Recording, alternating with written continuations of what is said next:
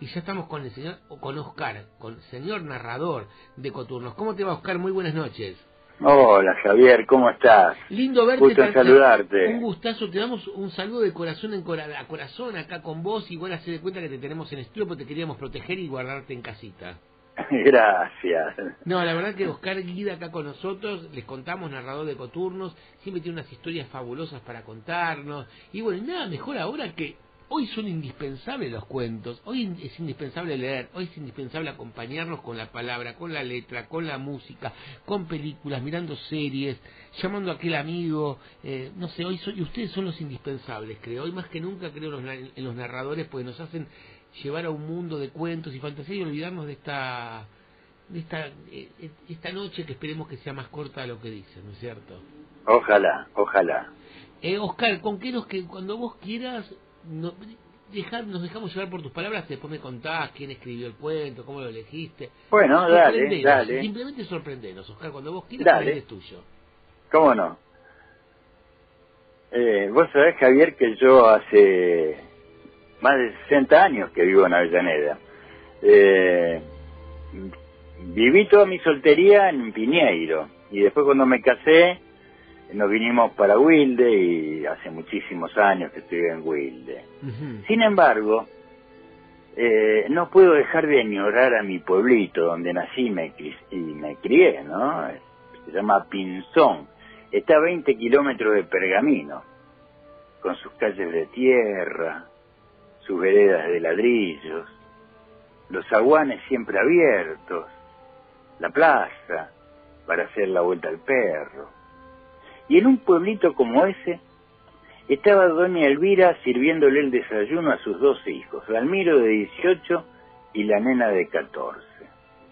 Y estaba preocupada, tan preocupada que los chicos se dieron cuenta. ¿Qué te pasa, ma? Ay, no sé. Tengo un presentimiento de que hoy va a pasar algo grave en el pueblo. Ah, vieja, hoy tu presentimiento. Los chicos se largaron a reír, porque los chicos se ríen de esas cosas. Yo me acuerdo que mi vieja me decía a veces, ay, anoche tuve un sueño, y yo me reía. Bueno, ahora mis chicos se ríen de mí. es la vuelta de la vida. Cuando Dermido terminó el desayuno, se fue un rato al bar. Justo estaba el moncho y se pusieron a jugar una partida de billar. En un momento le quedó una carambola servida. No va el moncho y le dice, el juego de 10 pesos que no lo haces. Dalmiro se largó a reír. Esa carambola él la podía hacer con los ojos cerrados y de espalda. Bueno, dale, te juego. Que ante el compromiso se acomodó bien, la midió bien, taqueó y le erró. Quedaron todos pasmados en el bar. ¿Pero qué te pasó, Dalmiro? Ah, qué sé yo. Debe ser por lo que me dijo mi hija esta mañana. De que tenía el presentimiento de que hoy iba a pasar algo grave en el pueblo. Por supuesto todos se largaron a reír, incluso Dalmiro. Y así riéndose llegó el moncho a la casa. Miren lo que le gané al tonto de Dalmiro. ¿Tonto por qué? preguntó la mamá. Eh, tenía una carambola facilísima y le erró. Todo por lo que le dijo esta mañana doña Elvira, que tenía el presentimiento de que hoy iba a pasar algo grave en el pueblo. Hijo, no hay que reírse de los presentimientos de los viejos, porque a veces se hacen realidad. Justo estaba una tía que pasaba toda la mañana a charlar un ratito y se fue a hacer los mandados. Lo primero fue ir a la carnicería y pidió un kilo de carne. Pero cuando el carnicero le está cortando, le dijo, no, no, mejor córteme dos kilos, porque se está diciendo que hoy va a pasar algo grave en el pueblo y mejor estar preparada. Cuando se fue esta señora, entró otra señora, que también pidió un kilo de carne. Y el carnicero le dijo, doña, ¿por qué no lleva un poco más? Mire que se anda diciendo que hoy va a pasar algo grave en el pueblo. La mujer pensó, en casa somos muchos no, entonces córteme cuatro kilos. Para no hacer más largo el cuento, a media mañana el carnicero había vendido toda la carne y tuvo que matar otra vaca. Al mediodía el rumor se había corrido y todo el pueblo estaba expectante a ver qué iba a pasar. A eso de las dos de la tarde alguien dijo, ¡Oh! ¡Qué calor que hace! Ah, en todos lados, en todos lados a esta hora hace calor y en este pueblo también. No, como hoy. Oh, esto una señal. A las tres de la tarde, el pueblo desierto, las calles desiertas y a la plaza desierta bajó un pajarito. Cuando la gente se enteró, fueron todos a la plaza a ver el pajarito que había bajado. Pero señores, si siempre bajan pájaros en la plaza, no. ¿Cuándo ha visto que baje un pájaro con la calor que hace? Esto es una señal. Y ahí estaban todos, asustados, mirando el pajarito.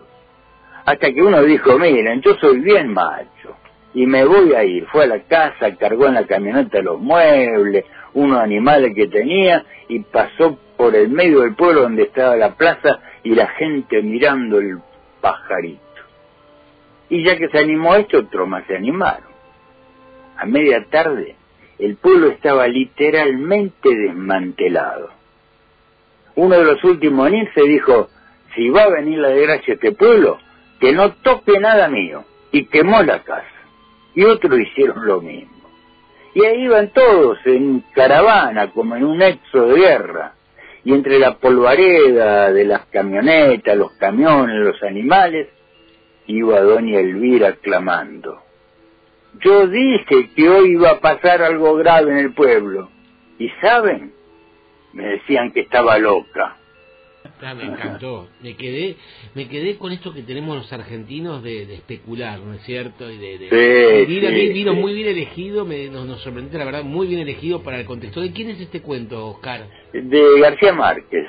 Y no tiene título porque este cuento lo contó en un simposio. Sí. Este, y no le puso título, así que algunos le dicen va a pasar algo grave en el pueblo, otros dicen este, profecía autocumplida. Sí, de García Márquez. Mira, esto llama a no desesperar, no caer en el pánico que no se viene el fin del mundo, no te aprovisiones con 20 cosas que nosotros hacemos caer, subir los precios. Puedes decir, ¿por qué sale de 500 pesos un alcohol en gel de 90 a 500? Nosotros tenemos que ser, nosotros somos los que tenemos el poder. Comerciante ya sabemos, el comerciante va a querer ganar, es comerciante, para eso tiene su negocio. Nosotros no tenemos que caer en el, en el en la especulación, nosotros. No sirve de nada pedir a las autoridades que ejerzan el poder de policía. Somos nosotros mismos con el poder de la billetera, con, con agua y jabón, es lo mismo, es lo mismo. No es lo mismo, tener, tener alcohol en gel y hacer inventos y no sabes hacer el alcohol en gel que puedes quedar todo, eh, que es peligroso, ¿no es cierto? Lavate con agua y jabón como se debe. Oscar, eh, mientras estás haciendo, eh, te estás cuidando, estás guardando en boxes. Sí, sí, sí, sí, estoy, estoy, estoy en casa, este haciendo muchas cosas que otros que otras veces no hago.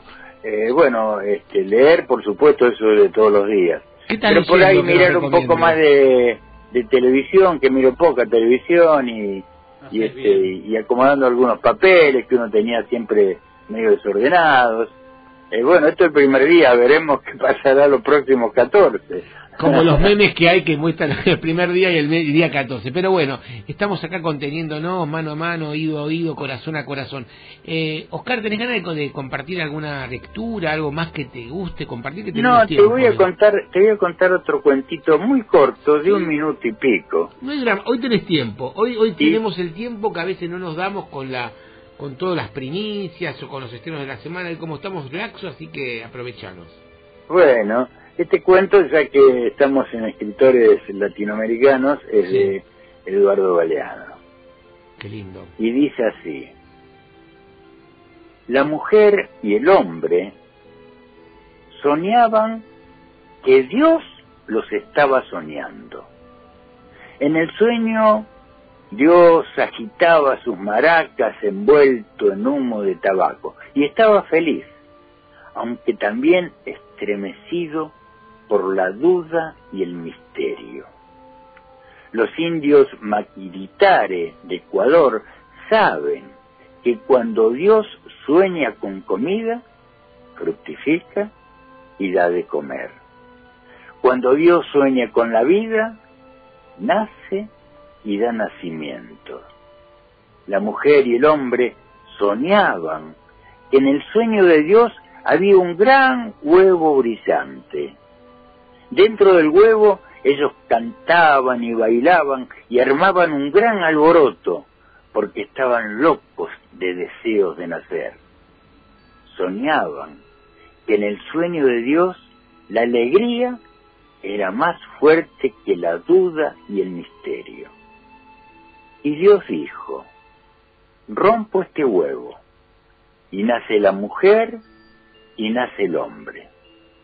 Juntos vivirán y morirán, pero nacerán nuevamente, nacerán y volverán a morir, pero volverán a nacer y nunca dejarán de nacer, porque la muerte es mentira. Qué precioso este cuento de Galeano. Hoy estamos compartiendo recién también en mi Facebook de Javier Alejandro y después lo voy, a, pasar también a la Naranja Crítica, 10 libros para leer libres de Galeano en estos tiempos. Que digo, Ay, qué bueno. 10 libros para leer. Tenemos tanto que hemos compartido, viste, en red, hemos compartido películas la verdad que me gusta la generosidad de los artistas. Muchos eh, directores de cine, Ale, te cuento Oscar, estuvieron abriendo muchísimas películas libres en Vimeo para ver de películas y documentales maravillosos de los últimos años. Papu Curoto habló de Esteros, una historia de amor, de iniciación. Eh, mirarme después mi Facebook, que tenés un montón para deleitarte de autores latinoamericanos, argentinos.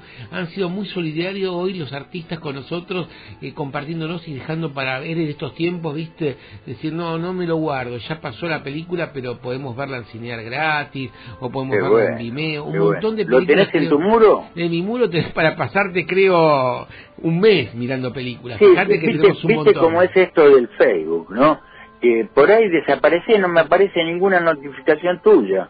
Y, y por ahí me aparecen notificaciones de gente que es contacto porque es contacto voy a ir a tu muro. Andate a mi muro que tenés un montón y a todos los oyentes, Javier Alejandro Ale, y después lo vamos a subir en la Naranja Crítica también. Hay un montón de películas para ver muy, muy buenas argentinas, defendiendo lo nuestro. ¿eh? Qué bueno, qué bueno. Cine, teatro, series, todo. Y va a haber también, y te cuento algo, están viendo también hoy se reunieron, te cuento a vos también, Ale. Le cuento a Víctor, también nuestro operador, que le damos las muy buenas noches, también que nos opera con la música, los sonidos, que nunca le, lo saludamos. Muy buenas noches, señor Víctor. Este cuento, vamos a tener también, están eh, estuvieron reunidos eh, Tristan Bauer, el ministro de Cultura, con el ministro de con el ministro de Cultura de la Ciudad de Buenos Aires, con Enrique Abogadro, para ver de qué manera los contenidos también de cines, de teatro, de museos pueden verlo para que la gente pueda ver online, ah, subirlo para que en estos tiempos se pueda subir a diferentes eh, plataformas. Me parece buenísimo. Es buenísimo, para estos días que hay que estar acá en casa, ¿viste? Me parece pero este, espectacular eso también, así que vamos a estar viéndolo, subiendo, también vas a poder encontrar eh, léenos también en cineargentinoy.com.ar, nosotros somos como un apéndice también a Naranja Crítica acá en Cítrica Radio de, de Cine Argentino que tenemos también crítica, vamos a estar subiendo muchísimos también materiales para ver de qué series te recomendamos para ver en Netflix, en Amazon Prime, en HBO, hay un montón de cosas nuevas, así que bueno, estate interiorizado, Oscar, también. Buenísimo, buenísimo. Me has dado una buena noticia. Así que bueno, muchísimas gracias, siempre lindo. Bueno, esperemos eh, antes de fin de año tenerte acá en el estudio que haya pasado la nube ¿Cómo no? nube negra y podamos que salga el sol y que pueda podamos estrecharnos juntos en un gran abrazo que sabemos que tenés mucha sensibilidad, escribís muy lindo y narrás como los dioses. Bueno, muchísimas gracias Javier, gracias por tu generosidad al invitarme. Es realmente un placer eh, un placer compartir con vos. Un placerazo y bueno, muchísimas gracias, no te vayas hasta las 22, te hacemos muy buena compañía acá en La Naranja Crítica.